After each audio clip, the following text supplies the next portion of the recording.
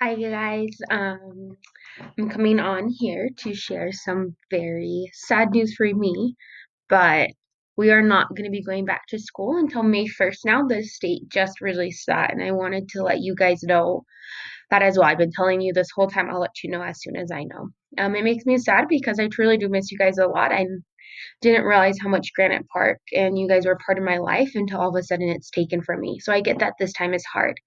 If you need anything at all, please, please, please reach out to me. Please let me know. I'll do anything I can to help you guys. I think about you constantly. I love you guys. I miss you a ton. Um, I'd love to hear what you guys are doing over this time when you have a little bit more freedom. If it's maybe you're watching your family members, maybe you've been watching something on TV.